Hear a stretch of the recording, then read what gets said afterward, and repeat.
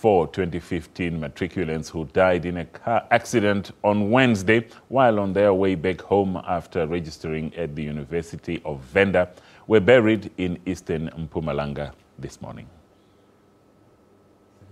Mourners gathered to bid farewell to Pindekile Manchinchi. She leaves behind an 11-month-old baby. The 19-year-old lost her life together with Tembiso Zabane, Senzo Mdaka and Jessica Mhlongo. The three were buried at their respective home villages around Nkomazi in the far eastern Mpumalanga Lowveld this morning. The Manchinchi family could not take the pain. My family is shattered. It already had hope for the future of the family. We do not know what to do.